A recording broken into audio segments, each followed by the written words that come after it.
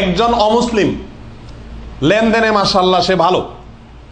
কিন্তু একজন মুসলমান নামাজ পড়ে, মুসলমান অথচ লেনদেনে ভেজাল করে, মানুষের পাওনা দেয় না।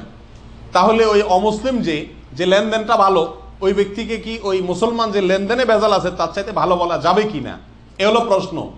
উত্তর হলো, কোনো অবস্থাতেই ভালো বলা যাবে না। কেন ভালো বলা যাবে না?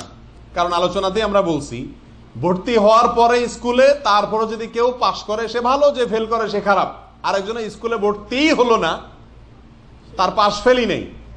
সে পুরোটাই খারাপ। এক দেওয়ার পরে শূন্য দিলে দশ হবে আরটা দিলে একশো হবে আরটা দিলে এক হাজার হবে, যত দিবেন বাড়বে। আর যদি শুরুতে এক না দিয়া, সংখ্যা না দিয়া শুধু শূন্য বসাতে থাকেন, কোনো লাভ আছে?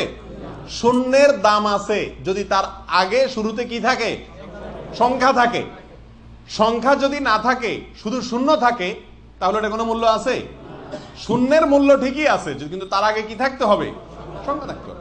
একজন অমুসলিম, তার যে ভালো কাজগুলো আছে, সেগুলো অবশ্যই মূল্যবান। সে সৎ মানুষ, এটা ভালো। কিন্তু সততার এই মূল্য হবে যদি তার আগে কি থাকে? ইমান থাকে। ইমানে যদি না থাকে, তার তো হিসাবে কি হয় নাই? খোলা হয় নাই। অতএব তাকে ভালো বলা কোনো অবস্থাতেই যাবে না। কোনো মানুষ এটা বলতে পারে না। তবে হ্যাঁ তার যেটুকু ভালো, সেটুকু ভালো বলা যাবে যে এই লোকটার লেনদেনটা ভালো। এটা বলতে পারবেন। কিন্তু সে ওই মুসলমানের চাইতে ভালো, এটা বলা কি হবে না? জায়েজ হবে।